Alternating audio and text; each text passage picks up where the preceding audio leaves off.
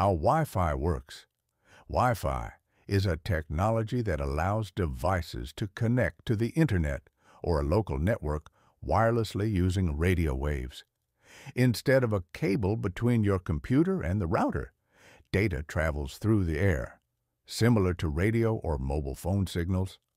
The core of the system is a router or access point.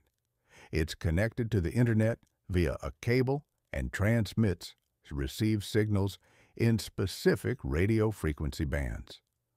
The most common are 2.4 GHz and 5 GHz, with the newer Wi-Fi 6E also adding 6 GHz. When you connect to Wi-Fi, your phone or computer sends a request to the router.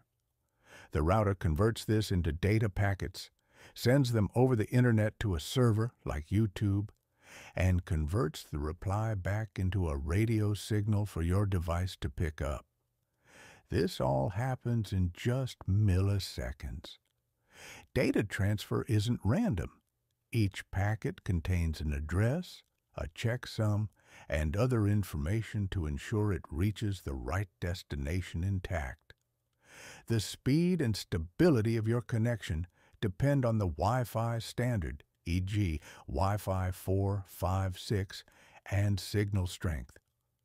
The more obstacles, like walls or furniture, the weaker and slower the connection can be.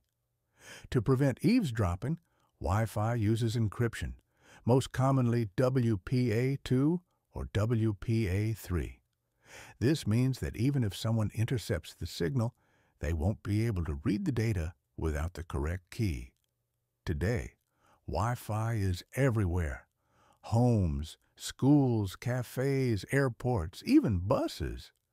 It's an essential part of our digital lives, and while it may seem invisible, thousands of data packets are flying around us every second.